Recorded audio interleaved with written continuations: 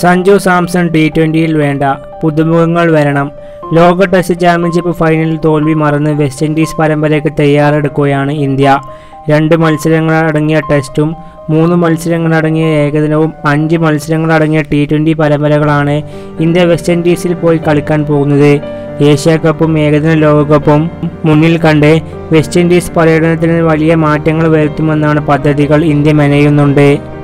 I P എല്ലിൽ തിളങ്ങിയ യുവതാരങ്ങൾക്ക് Indian ടീമിലേക്ക് വിളിയെത്തിയേക്കും.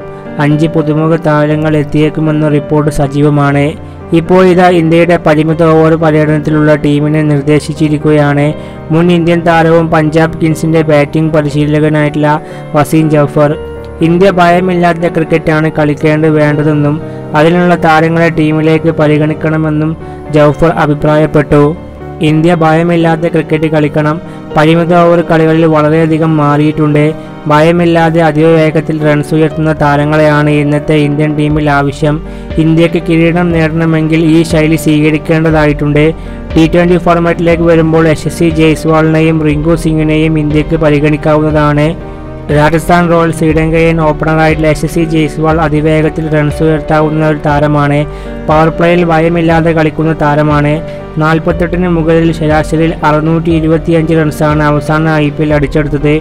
അതും നൂറ്റി അറുപത്തിമൂന്ന് മുകളിൽ സ്ട്രൈക്ക് റേറ്റിൽ റിങ്കു സിംഗിനെ ഫിനിഷർ റോളിൽ വളർത്താവുന്നതാണ്.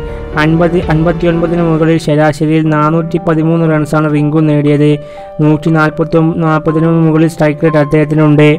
ഒരു ഓവറിൽ അഞ്ച് സിക്സറുകൾ പറത്തി അത്ഭുത ജയം സമ്മാനിച്ച താരമാണ് റിങ്കു സിംഗ്. സഞ്ജു സാംസൺ ഇന്ത്യയുടെ ഏകദിന ടി ട്വന്റി ടീമിലേക്ക് തിരിച്ചെത്തുമെന്ന റിപ്പോർട്ടുകൾ സജീവമാണ്. ഐ പി എല്ലിൽ രാജസ്ഥാൻ റോയൽസിന്റെ നായകനായുള്ള സഞ്ജു ആവട്ടെ തരക്കേടില്ലാത്ത പ്രകടനമാണ് കാഴ്ചവെച്ചത്. എന്നാൽ അദ്ദേഹത്തിന് സ്ഥിരത പ്രശ്നമായിരുന്നു. ടി ട്വന്റിയിൽ ഋഷഭ് പന്തിന്റെ അഭാവത്തിൽ ഇഷാൻ കിഷനായിരിക്കും മുഖ്യ പരിഗണന ലഭിക്കുക.